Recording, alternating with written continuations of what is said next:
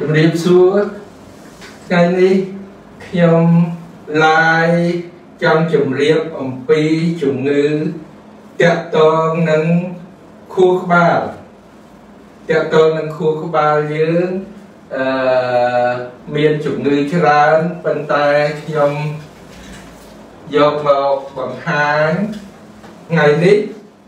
មានជំងឺតាក់ទងមនុស្សចាស់ខ្លះ ហើយទៅកើតឡើងនៅក្មេងខ្លះដែលយើងធ្លាប់ជួប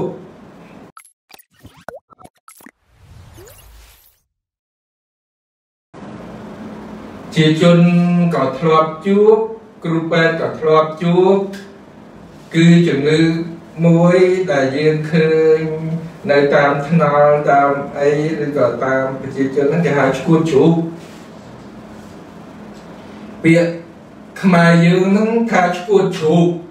ប៉ុន្តែដល់ពាក្យបច្ចេកទេសគេហៅ epilepsy នឹងជំងឺទី1ជំងឺទី2ក៏យើងធ្លាប់ឃើញមានបងប្អូនយើងចាស់ចាស់ច្រើនពី60 70 60ជាងទៅញ័រញ័រអញ្ចឹងគេហៅជំងឺ Parkinson ក៏យើង ធ្លាប់ឃើញនៅក្នុងភូមិនៅក្នុងចិត្តផ្ទះឲ្យយើងដែរគេហៅ Parkinson ជំងឺទី3គេហៅជំងឺភ្លេចគេហៅ dementia demence ដូចជារឿងកូរ៉េអីទៅបុកឡានប៉ះក្បាលទៅភ្លេចប្រពន្ធភ្លេចស្អីតម្រាំមកចិត្តចប់សាច់រឿងបាននឹកឃើញវិញ ប៉ុន្តែដល់ចាស់ទៅមានភ្លេចភ្លាំងកាលខ្ញុំនៅក្មេងឬតាចាស់ចាស់និយាយចាស់ទៅច្បាស់អាចអាចហ្នឹងគឺថាវងវែងហ្នឹងគឺ Alzheimer ចឹងគេហៅ dementia senile មនុស្សចាស់គេហៅ senile និងទី4ខ្ញុំនឹងបង្ហាញរបៀបកែប្រែ ដើម្បីឲ្យបានមកប្រកដីវិញខ្លះដូចដើមជួនកាលក៏គ្រាន់បើជាងយើងមិនកែប្រែនេះក៏គេមានមុខវិជ្ជាគេមួយនៅក្នុងពេទ្យគេហៅ re-education functional ខ្ញុំនឹងបង្ហាញនៅទី4អញ្ចឹងទី1ជំងឺ Parkinson ជំងឺ Parkinson ស្អីទៅ Parkinson ច្រើនតែកើនឡើងចាប់ពីមនុស្ស65អីទៅលក្ខណៈវាគឺរឹងញ័រណែដៃញ័រចិត្តហើយដើរបានតែមួយចាហ៊ានមួយចាហ៊ានមួយចាហ៊ានដើរ1គីឡូអីហ្នឹងសឹងអី 1គីឡូសឹងតែ1ម៉ោង2ម៉ោងដើរមួយចាហ៊ានត្រូវត្រូវត្រូវខ្ញុំនឹងមានរូបបង្ហាញនេះកើតឡើងដោយនៅកន្លែងនេះកើតឡើងនៅកន្លែងនេះរឿងវាពាក្យបច្ចេកទេសគេហៅពណ៌ប្រផេះនៅក្នុងជាតិ ប្រផេះនៅក្រៅគឺខ្លួនរបស់កោសិកាខួរក្បាលណាដែលយើងឃើញហើយហើយពណ៌សជាផ្លូវចឹងហើយបានប៉ះពាល់ដល់ខួរក្បាលដូចយើងហៅ stroke ប៉ះពាល់ខួរក្បាលប៉ះពាល់កន្លែងណាដៃយើងលើកដៃអត់រួចប៉ះពាល់ភ្នែកយើងខូចភ្នែកប៉ះពាល់ជើងយើងខ្វិនប៉ុន្តែរឿងនេះប៉ះពាល់ដល់ ពណ៌ប្រផេះកដាលគេហៅ locus de Niger ជាពាក្យឡាតាំងគេហៅ locus Niger គឺនៅកន្លែងនេះនៅកន្លែងនោះកើតហេតុអីនៅកន្លែងហ្នឹងវាបញ្ចេញជាតិមួយគេហៅដូប៉ាមីនដូប៉ាមីនហ្នឹងបើសិនជាយើងយកពីក្រៅទៅគេសម្រាប់ជួយ អឺបេះដូងក៏បានជួយនៅពេលដែលយើងអត់មានទឹកនោមគេហៅ functional ណែខ្ញុំនៅសង្គ្រោះបន្ទាន់ខ្ញុំប្រើច្រើនកក៏ប៉ុន្តែដូប៉ាមីននេះជាដូប៉ាមីនអង់ដូសែនធ្វើឲ្យយើងបេះដូងយើងធ្វើឲ្យច្រើនណាស់ដូប៉ាមីននេះទូនាទីវាពាក្យពាក្យបច្ចេកទេសអង់ដូសែនដែលយើងប្រើពីក្រៅទៅគេអេសូសែ ននៅពេលខ្សោយអាហ្នឹងវាជាប្រព័ន្ធសម្បត្តិតែខ្សោយអាហ្នឹងដូចខ្ញុំបាននិយាយអំពីប្រព័ន្ធ vegetative ប្រព័ន្ធ automatic sympathetic parasympathetic នេះជាប្រព័ន្ធ sympathetic ដូច្នេះប្រព័ន្ធ parasympathetic វាឡើងព្រោះវាអ្នកអឺជួយធ្វើម៉េចឲ្យវាមានលំនឹង កាលណាប្រព័ន្ធបារាសម្បត្តិឡើងយើងក៏មានរឿងច្រើនទៅទៀតអញ្ចឹងទូនីតិរបស់ថ្នាំរបស់វាគឺថាយើងបង្កើនដូប៉ាមីនយើងបង្ក្រាបបារាសម្បត្តិគឺអាសេទីកូលីនបានព្យាបាលអ្នកជំងឺនឹងបានក៏ប៉ុន្តែថ្នាំដែលយើងប្រើពីក្រៅទៅច្រើនតែមាន គេហៅថាធ្វើទុកខ្ញុំក៏ប្រើច្រើនអ្នកជំងឺច្រើនធ្វើទុកចឹងទូនាទីឆ្នាំមួយលក់នៅទីផ្សារក្រៅអលដូបាហ្នឹងគឺដូប៉ាមីនហើយមួយទៀតប្រព័ន្ធបារាសាំតិចគេបន្ថយហ្នឹងគេហៅពួកបេឡាដនកាលពីដើមហ្នឹងខ្ញុំរៀនពីដើមវាពួកអាត្រូពីនឥឡូវហ្នឹងក៏មាន derivative របស់វាដើម្បី បង្កើនតែមួយប្រក្រាបតែមួយឬមួយពីរនឹងផ្សំចូលគ្នាឬមួយយកជាតិស្តៀងដូប៉ាមីននឹងមកប្រើគេហៅ agonist ដូប៉ាមីននេះប៉ុន្តែដូប៉ាមីនវាត្រូវរំលាយចោលពីខ្លួនយើងវិញខ្ញុំបានធ្វើ live ហើយពួក សម្បត្តិបើមិនវារំលាយចោលទេយើងនៅតែញ័រទូងយើងនៅតែភ័យយើងនៅតែអីដល់ពេលដែលយើងជួបព្រឹត្តិការណ៍អីមួយដូប៉ាមីនហ្នឹងវាត្រូវរំលាយចោលដល់គេហៅ email ហើយនឹង com បើអញ្ចឹងយើងធ្វើម៉េចកុំឲ្យអាជាតិរំលាយដូប៉ាមីននឹងមានអញ្ចឹងឆ្នាំវាច្រើនខ្ញុំក៏សាកប្រើហើយបញ្ហាធំដោយសារឥឡូវជំងឺនេះ វានៅក្នុងឯកទេសមួយគេហៅ neurology neurology ឯកទេសគ្រូពេទ្យ neuro គេនិយាយអញ្ចឹងគេត្រូវមានវិធីគេគេធ្វើដូចយើងបានជម្រាបធ្វើ ECG ធ្វើ scanner ធ្វើ ERM បើអញ្ចឹងជំងឺនឹងយើងឃើញបញ្ហាធំឃើញគាត់ដើរគាត់ញ័រ ដើរមកចាហ៊ានចាហ៊ានដូចយើងវាស់ចាហ៊ានហើយនៅតាមបងប្អូនឬនៅតាមគ្រួសារមួយមួយជួនកាលឃើញហើយឆ្នាំក៏ពិបាកឃើញគាត់ដើរហើយដៃគាត់ញ័រជំងឺនេះជាជំងឺវ័យចាស់ពិបាកព្យាបាលដោយសារថ្នាំនឹងវាធ្វើទុកថ្នាំចេញច្រើនណាស់នៅលើទីផ្សារ ប៉ុន្តែបើសិនជាអ្នកជំងឺទ្រាំយើងតាមដានក៏មានប្រសិទ្ធភាពដែរក៏ប៉ុន្តែទោះជាយ៉ាងណាក៏ដោយដូចជាមកជួខ្ញុំខ្ញុំឲ្យថ្នាំប៉ុន្តែការចិញ្ចឹមដូចជាអាហារយើងត្រូវប្រើអាហារណាឲ្យគាត់កុំឲ្យគាត់ស្រកសាច់ផ្លូវចិត្តត្រូវមានកូនចៅនឹងជួយខ្លះ ហើយជួនកាលគេមិនសូវលក់អីយើងផ្សំឆ្នាំខ្លះចឹងជំងឺទី1ហ្នឹងគេហៅ Parkinson អត់មានពាក្យបកប្រែជាខ្មែរទេខ្ញុំក៏មិនដឹងជាយើងបកប្រែថាម៉េចទេមានតែបញ្យល់ជំងឺទី2គេហៅថាឈួតជ្រូកអានឹងឈ្មោះគេ epilepsy គឺកើតឡើងនៅ គេហៅ frontal ខួរក្បាលយើងហើយកន្លែងដែលបញ្ជាចលនា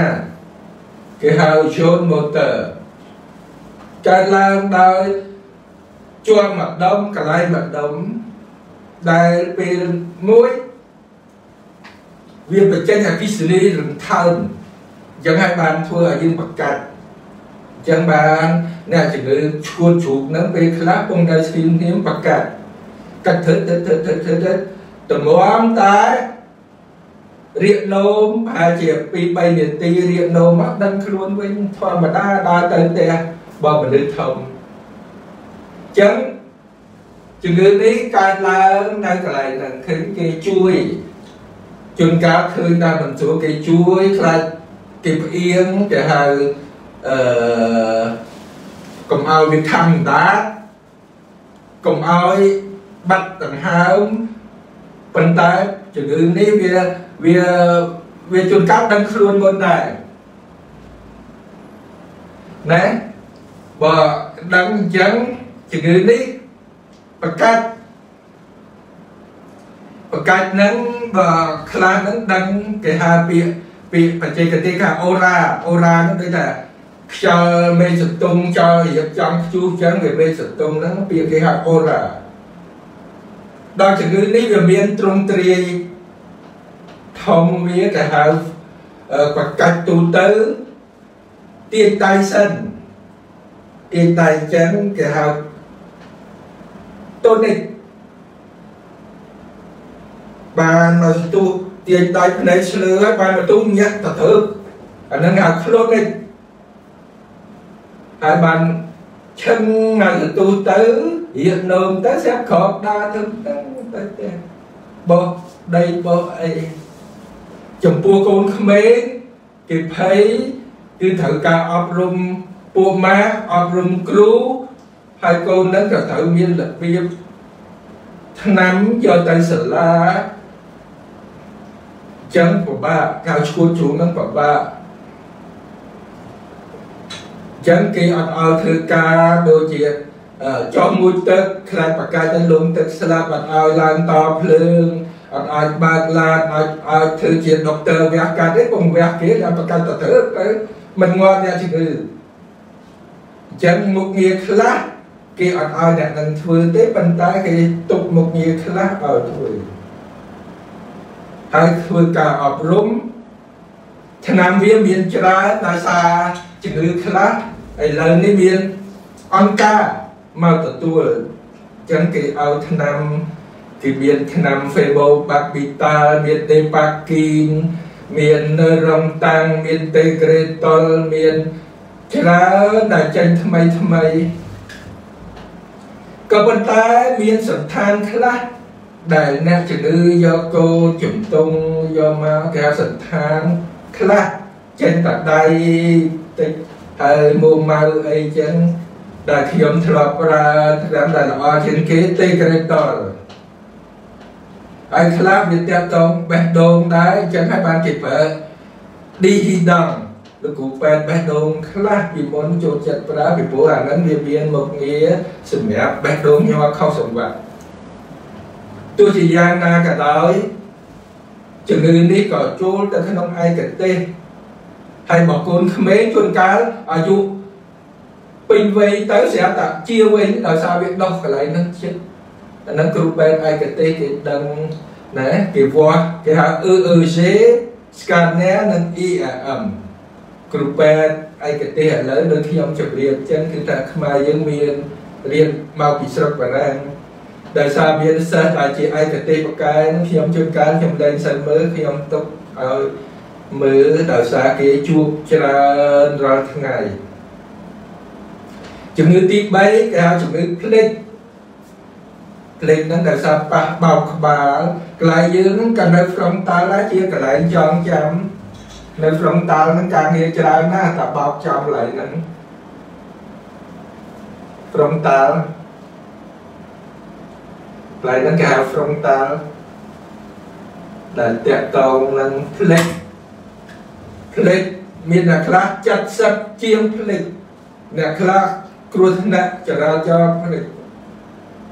ដោយ epilepsy អញ្ចឹងខ្ញុំភ្លេចនិយាយអ្នកខ្លះគ្រោះថ្នាក់ចរាចរណ៍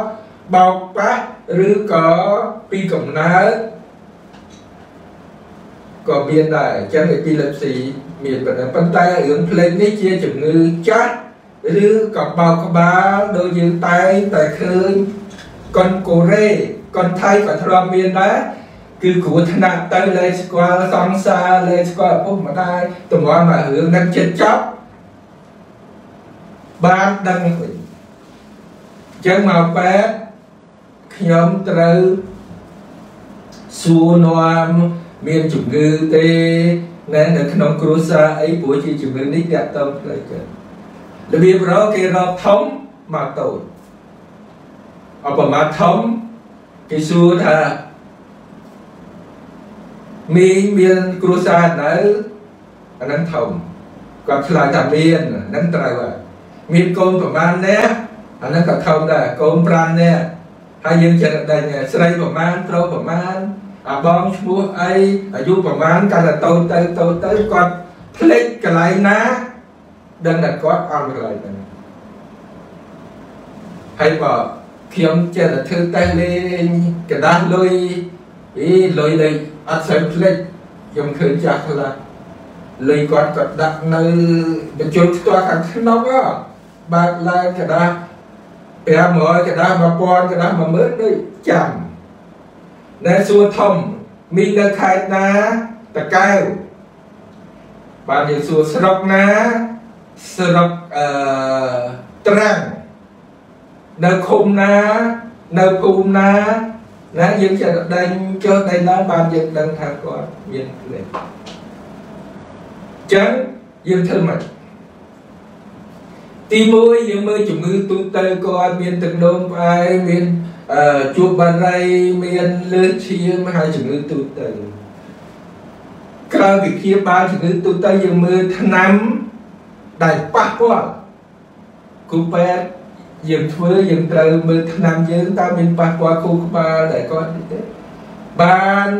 យើងអប់រំដោយខ្ញុំតែតែជម្រាបការចិញ្ចឹមដឹកដៃគាត់ដើរក្នុងផ្ទះនឹងធ្វើឲ្យគាត់សុបាយមានចៅណាដែលបកែគាត់ចូលចិត្តឲ្យមកនិយាយលេងមកចាក់កលេងមកលេងមួយគាត់ដូច្នេះគាត់អាចនឹកឃើញមកវិញហើយឆ្នាំ ក៏តិចដែរដូចខ្ញុំធ្លាប់ប្រើថាពីរ៉ាសេតាមហើយនឹងឆ្នាំដែលអឺគេយកពីដើមឈើមកហ្នឹងយើងឃើញគ្រប់គ្នាហ្នឹងគេលក់នៅទីផ្សារគេតាណាកង់ថ្នាំអស់ហ្នឹងក៏ជាថ្នាំជំនួយទេចឹងជំងឺ3ហ្នឹងក៏អាសាជួបក៏យើងត្រូវតែចេះយើងត្រូវតែស្រាវជ្រាវដូចខ្ញុំជម្រាបថាបើយើងទៅខេត្ត យើងនឹងជួបការលំបាកបើយើងនៅភ្នំពេញមានប្រដាប់ប្រដាមានពេទ្យធំធំមានគ្រូពេទ្យចេះ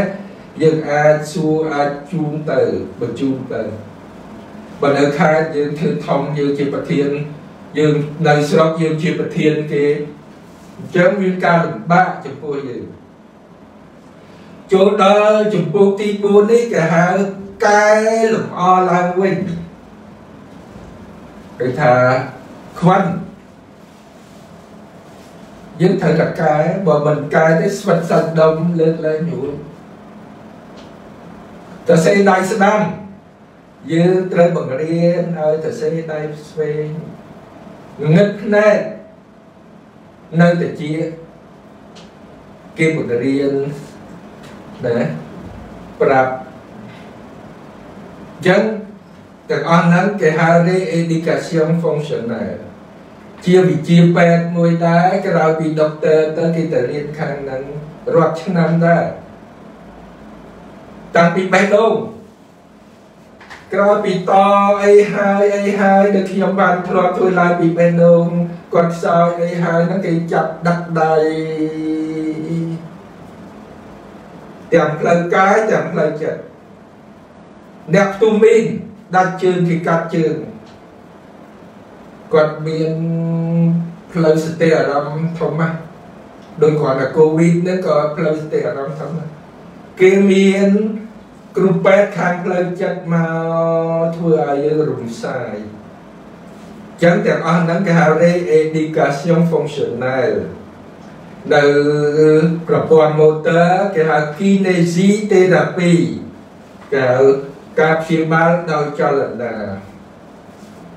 មាន physiotherapy ការព្យាបាលដោយ physio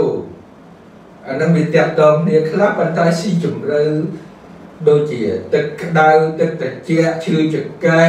គេបាញ់ទឹកគេត្រាំទឹកមានរៃយ៉ុងអ៊ុលត្រាយ៉ូឡេមានអងហ្វារ៉ាដិកមានច្រើនណាស់ក៏ជាឯកទេសមួយ ergotherapy aroma therapy ក្លិននឹងក៏ព្យាបាលយើងដែរគ្រាន់តែយើងមើលគ្រាន់តែក្លិនស្អុយនិងក្លិនកោបកោបខ្លះធ្វើឲ្យមានកម្លាំងក្លិនស្អុយពាក្យបែរថា odor nauseabond គេចំណាំកាលខ្ញុំរៀនគឺកដោគាត់គាត់ថាថ្ងៃហ្នឹងយើងដូចអារម្មណ៍មិនល្អអញ្ចឹង នៅក្នុងមុខវិជ្ជា readaptation functional នេះមានគ្រប់បេះដូង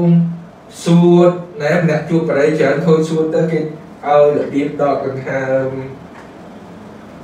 ដូចជាយូហ្គាក៏របៀបកែតម្រូវខាងផ្លូវចិត្តផ្លូវកាយដែលអ្នកខ្លះក៏ធ្លាប់ធ្វើវិបស្សនាទាំងអស់នឹងហើយជាវិធីគេហៅ re-education functional កែសម្រួលឲ្យយើងទៅល្អឡើងវិញសិតតែជាមុខវិជ្ជាពេទ្យដែលយើងមិនទាន់មានអ្នកណាឲ្យវាចេះជ្រៅជ្រះដូចចំណីអាហារក៏គេរៀនពី3ឆ្នាំខាងឯកទេសខាងចំណីអាហារ dietitian ចំណីអាហារណាល្អណែណាក្រក់ណែណាចាំ ចំណីអាហារណាទីរក់ចំណីអាហារណាកូនក្មេងចំណីសម្រាប់មនុស្សចាស់ចំណីសម្រាប់អ្នកឈឺតាក់មើលពីឈឺទាំងអស់ហ្នឹងហើយដែលខ្ញុំចង់បង្ហាញថ្ងៃនេះគេហៅ re-education functional ពីព្រោះសិតតែជាមេរៀនវែងប៉ុន្តែចង់បញ្យល់ឲ្យបានជាគំនិតខ្លះដូចជាឈួតជ្រូកដូចជា Parkinson ដូចជាជំងឺភ្លេច ទាំងអស់ហ្នឹងសិតតែជាវិធីនៅក្នុងបច្ចេកទេសវិទ្យាសាស្ត្រហើយសិស្សពេទ្យចេញមកនឹងក៏ត្រូវតែមើលកាលណាមានឯកទេសណាមួយច្បាស់យើងយកទៅយើងនឹងទទួលបានអឺប្រាក់ខែទទួលបានលុយច្រើនហើយកុំឲ្យដដើមមានតែមុខវិជ្ជាខ្លះដល់ហើយវាជន់គ្នា ហើយបើរៀនមុខវិជ្ជាឯកទេសតើតបានទៅប្រទេសគេជឿនលឿនបានយើងទៅជាគូពេទ្យបកែហើយយើងមានសិលធម៌ល្អទៀតយើងបកែទៀតយើងរស់រាយរាក់ទាក់ទៀតលុយរត់មកអាយហើយយើងជួយពេទ្យតើតើយើងមានចរិតអញ្ចឹងចឹងថ្ងៃនេះខ្ញុំមាន live របស់ខ្ញុំចំពោះជំងឺខ្លះខ្លះ មិនបានឲ្យវាហូរហែទេហើយនឹងការកែសម្រួលនៅពេលដែលយើងឈឺដូចម្ដាយដូចមីងដូចយាយយើងឈឺយើងត្រូវចេះតែ re-education functional ចឹងការ live របស់ខ្ញុំមានតែប៉ុណ្ណេះទេសូមជម្រាបលាសូមអរគុណ